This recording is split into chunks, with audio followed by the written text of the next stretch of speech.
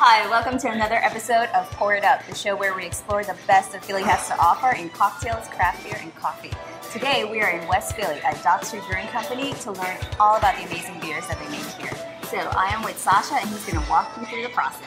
So, Sasha, tell us what is it that you do here? How many gallons of beer do you brew per day, per week? How does it work?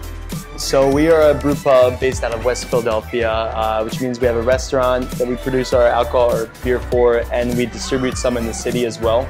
We're a 10 barrel brew house, so we produce 20 kegs at a time, roughly, give or take. Uh, it becomes kind of burdensome to create so little beer at one time, but it really gives us a ton of flexibility with the styles of beer that we do. Um, we sell most of our beer in house, and again, a little bit out into the city but it gives us the freedom to do about 40 different styles of beer per Oh, year. wow. Uh, one of our most popular ones is our rye IPA. Mm-hmm. It's 6.8%. It's really hoppy. It's boozy. It's uh, got great citrusy hop character to it.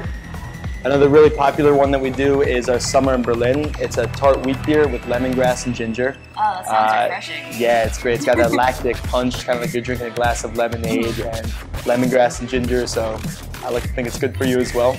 Nice. So what's going on over here? I hear some music. This looks really interesting. Uh, more funky beers, and they use. those. Just started drinking them. Yeah, Great. it's there's so like complex and refreshing, Yeah. and nothing's really the same, which I really like about it. absolutely. But um, there's types of bacteria and yeast that will metabolize sugar and create not only alcohol and carbon dioxide, but a little bit of acid. It can be acetic acid, it can be lactic acid, um, and they give a really nice pleasant tartness to the beer. Yeah. So we took a saison and we pitched it into this red wine barrel, and we added two different strains of Brettanomyces, Oh, which is gonna make like a Yeah. funky, tart, kind of Yeah. pineapple-y, um, sour characteristic.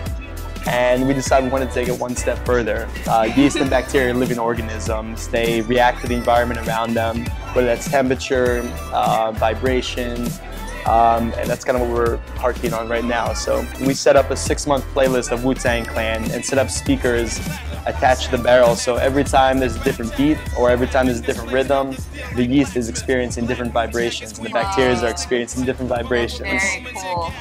So it's it's combines what we love to do: music, beer, uh, experimentation, science, and we How like to have fun. How many months in are you?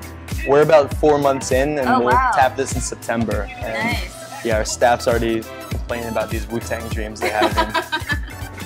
Very awesome. So what's going on inside here? We are working with another uh, with a biochemist from University of Pennsylvania. So in the air all around us, there are wild yeast and bacteria that can potentially either spoil beer or be used to ferment beer Mm-hmm. and create these nice sour beers. I'm gonna let you try it first. Okay. It smells nice and tart and funky, like Yeah. a sour beer. And it started out as just sugary water. Really no characteristic to it. So everything you're tasting Mm. is stuff that's floating around the air Nice. right now. Well, this is super refreshing, and you, if you haven't had a sour beer, I highly recommend it. But that's all the time we have today on Pour It Up. So join us next time on My New Philly, where something's always new and everything's always Philly. Thanks, Sasha. Cheers guys.